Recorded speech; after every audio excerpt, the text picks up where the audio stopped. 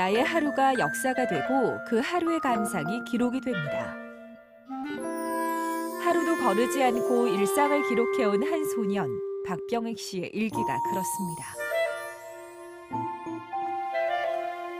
혼자만의 속마음을 가감없이 적어내린 공책. 꺼내보기 부끄러워 꼭꼭 담아놨던 그날의 일기가 오늘날 소중한 기록물로 남았습니다. 78년 3월 21일 화요일 맑음 박병익 씨의 일기를 따라 옛 전주로 시간 여행 떠납니다.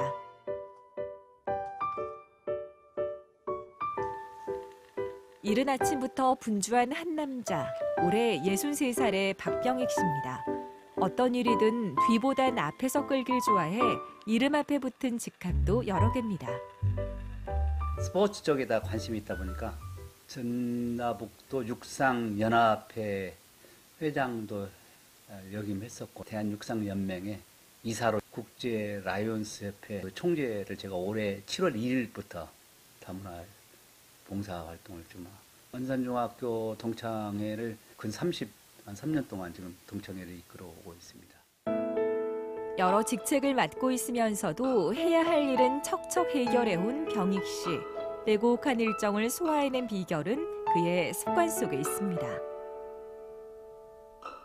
사소한 일 하나도 빠짐없이 적어두는 건데요. 남들이 보기엔 별거 아닐지 모르지만 병익 씨에겐 무엇보다 의미 있는 게 바로 기록하는 일입니다. 옛날 어르신들이 성공한 사람들의 다 공통점, 성공한 사람들의 비결, 공통점을 보면 메모를 많이 했던 것 같아요. 최근에 한 3, 4년 전에는 핸드폰에가 메모란이 있고 또 그 핸드폰에 일정이 있으니까 그 일정란을 충분히 제가 이제 이용을 하는 거죠. 그래서 편하고 종이가 이제 휴대폰에 대신 역할을 하는 거죠. 몇 해 전까지만 해도 병익 씨가 즐겨 사용한 도구는 수첩.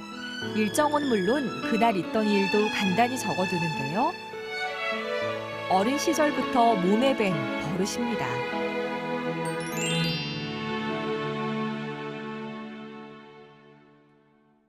(1977년 8월 3일) 수요일 맑음 나의 꿈 내가 해야 할 일, 그리고 개척해야 할 일. 지금부터라도 모든 꿈을 실현시켜보고 싶은 내 자신이다. 이게가 지금 71년 7월 달에서 72년 9월 달까지니까 아마 중학교 2학년, 3학년 때 쓴 그런 일기인 것 같은 축구. 꿈을 향해 달려가던 나날들을 일기장에 꾹꾹 눌러 담은 중학생 시절. 50년 가까운 세월을 지나고 보니 빛바랜 일기장이 달라 보이기 시작했습니다. 세게 쓴다고 있습니다.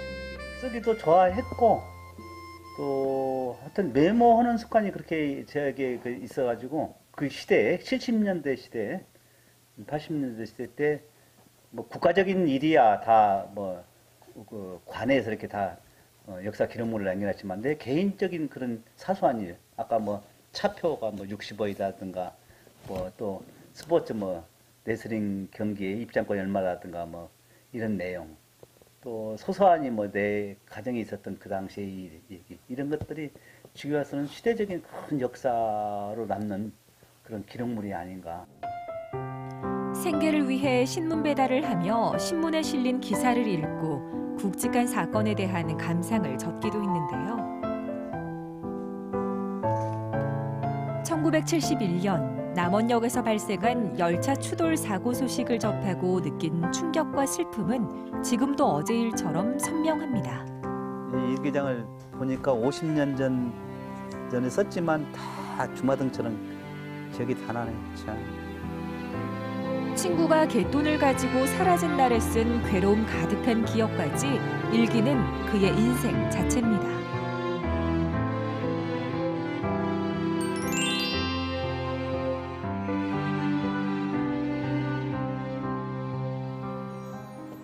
시민들이 기증하거나 기탁한 전주 관련 기록물들을 보관하는 곳 전주 시민 기록관을 찾았습니다.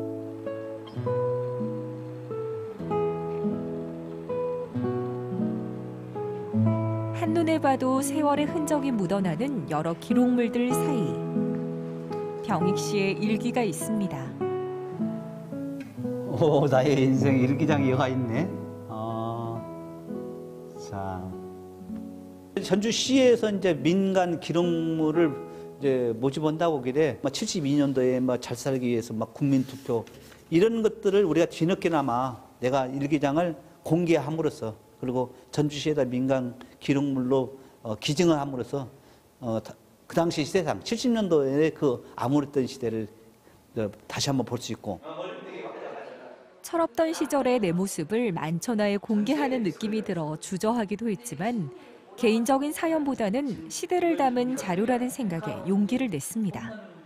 여기 표지에 보시, 보면 완산 중학교 몇 학년 몇 반 몇 번 누구 이렇게 써 있잖아요. 어 이거 정말 너무 궁금해하는 거. 그러니까 아, 소년의 일- 일기가 얼마나 다양한 내용들이 있었을까. 그리고 두 번째는 신기해하는 거죠. 시대상에 따라서 음, 벌어지는 일들이 달랐기 때문에 어, 이 노트 한 권에도 문구 디자인, 또 글씨체 이런 것들을 볼 수 있다는 점에서 어, 반응들이 아주 다양하세요. 병익 씨 일기는 지난 2018년 제5회 전주 기록물 수집 공모전에서 우수상을 수상하기도 했는데요. 지금은 보이는 수장고에서 시민들과 만나고 있습니다. 평범한 개인의 일기에서 이제는 모두의 기록이 된 병익 씨의 일기. 공유된 기억은 머지않아 역사가 될 겁니다.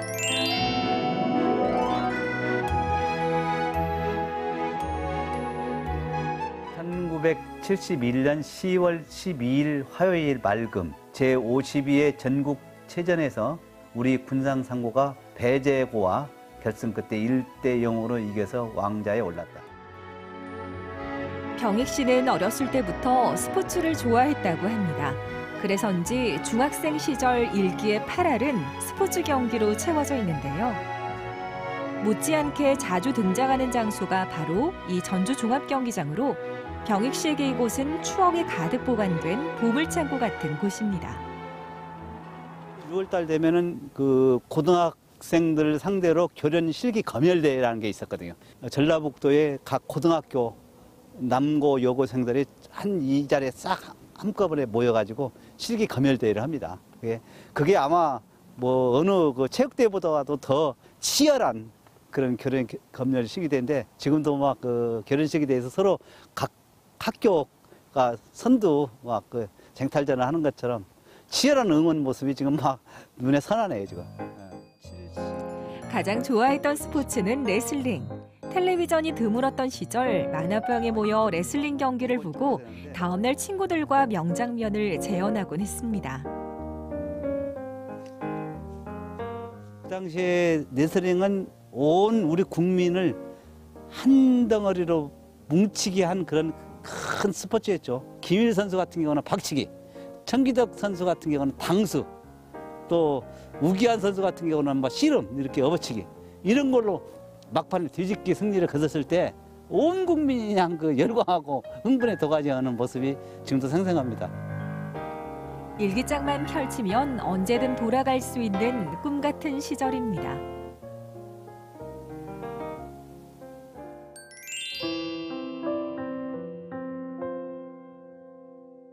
1977년 6월 17일 금요일 맑음 나에게 의지가 없을까? 아니면 노력이 부족할까? 사랑하는 해옥이가 용기를 불어 넣어주고 있겠지. 오가 오빠는 오늘 밤도 잠을 이루지 못하고 있어. 병익 씨와 추억을 공유했던 일기장 속 친구들을 만났습니다.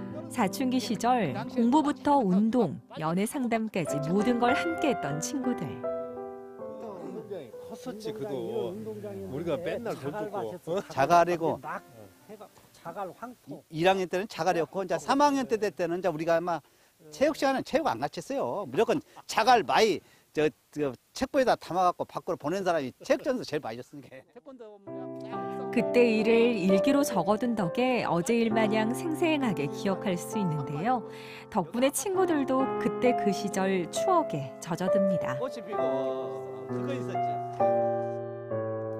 친구들과 헤어진 뒤 홀로 어딘가로 향하는 병익 씨. 아, 옛날 그대로네. 지금은 사람이 안 사는 거만. 아, 네. 11살 때부터 살았던 옛집을 찾아 나선 건데요. 아직도 50여 년 전 그때에 머물러 있을 것 같은 동네. 아버지가 손수 담을 쳤던 그 집에 닿았습니다. 아, 우리가 아버님이 저 만들어 놓은 건데, 제 마루랑 그, 어, 중학생이 됐을 즈음엔 마을 공용 화장실 대신 집안의 화장실을 만들었던 기억도 생생합니다. 아, 눈물 나네. 공동물이 그대로 있어. 아, 여기, 여기.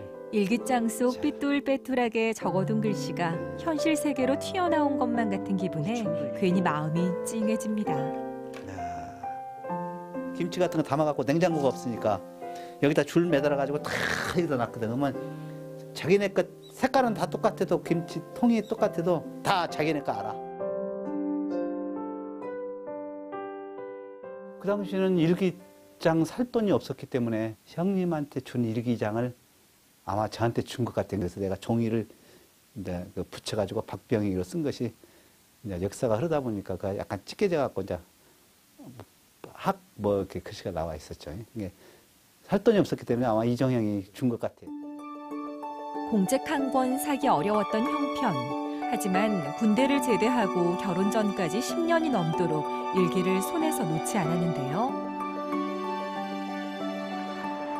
한 소년의 일상을 넘어 시대를 담은 기록물로 다시 태어난 일기. 그의 일기 속에는 70년대 전주 시민의 삶은 물론 그 시절 전주의 사회, 문화가 모두 담겨 있습니다.